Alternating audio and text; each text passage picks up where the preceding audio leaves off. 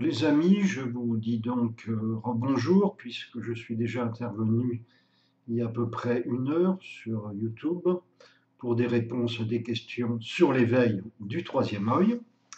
Maintenant, je me permets quelques explications sur ma prochaine vidéo qui s'intitulera Méditation alchimique du lotus d'or.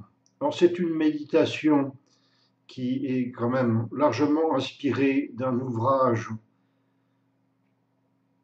chinois sur l'alchimie interne, c'est-à-dire le, développement intérieur, la sublimation de nos énergies, hein, puisque c'est un des thèmes principaux de, l'alchimie, hein, qui transforme le plomb en or symboliquement, c'est-à-dire nous permet de sublimer nos énergies euh, basses en énergies très élevées spirituellement. En, gros, c'est cela.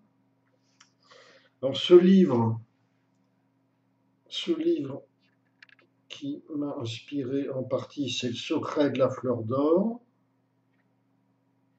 de Lutsu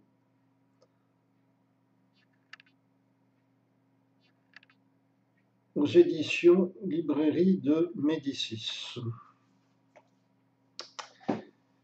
Euh, c'est un ouvrage qui avait beaucoup inspiré le célèbre psychiatre et psychanalyste suisse Carl Gustav Jung. Et d'ailleurs qui lui avait permis de lui apporter des éléments pour la découverte de ce qu'il a appelé le processus d'individuation.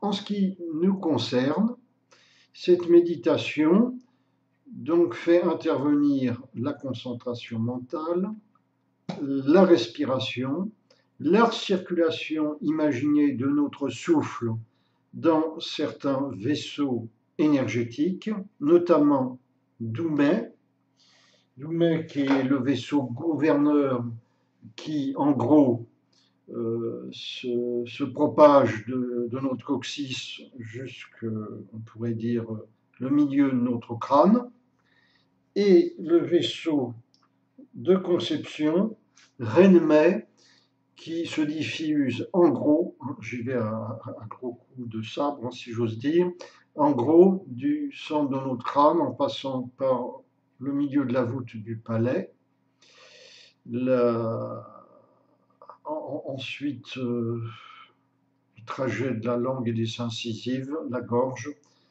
l'avant du corps, hein, euh, donc euh, tout, tout le milieu du sternum, le plexus solaire, le nombril, pour se terminer au périnée. Enfin, je dis ça vraiment en gros, mais peu importe, peu importe, pour nos méditations, c'est amplement suffisant.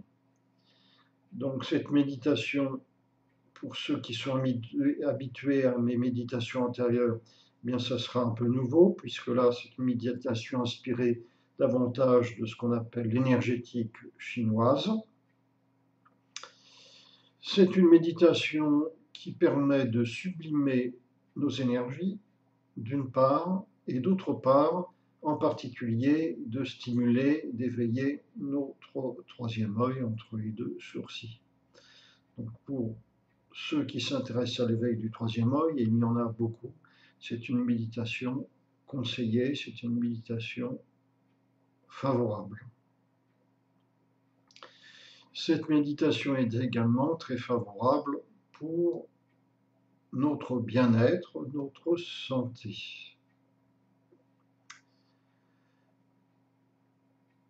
Il n'est pas indispensable, mais il est assez important de placer la pointe de la langue, l'extrémité de notre langue, contre la base de nos incisives supérieures lors de cette méditation. Pourquoi? Parce que ceci permet le passage de l'énergie entre notre donc vaisseau gouverneur et notre vaisseau de conception. Voilà. Ce n'est pas indispensable, mais il y aurait, dans ce cas-là, si ce n'était pas effectué ainsi, beaucoup moins d'énergie qui passerait. ce qui est important aussi, c'est à la fin de l'exercice, mais bien sûr c'est précisé, à la fin de l'exercice, de, concentrer nos énergies accumulées par les bienfaits de cet, exercice, d'accumuler cette énergie en arrière de notre nombril parce que c'est un point de stockage de nos énergies. C'est une sorte de réserve et ça ne crée aucun problème qu'à engrangé là en cet endroit. Puisque je vous rappelle qu'au point de vue soins énergétiques, il y a trois sortes de désordre énergétique le manque d'énergie, le blocage d'énergie, c'est-à-dire que l'énergie circule mal, est bloquée en un point ou en plusieurs points, et l'excès d'énergie. Voilà. Donc, l'énergie en excès, on peut l'accumuler dans le centre de réserve en arrière du nombril.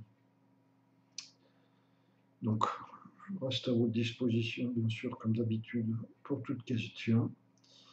Donc je vous souhaite une bonne pratique. Au revoir et à bientôt.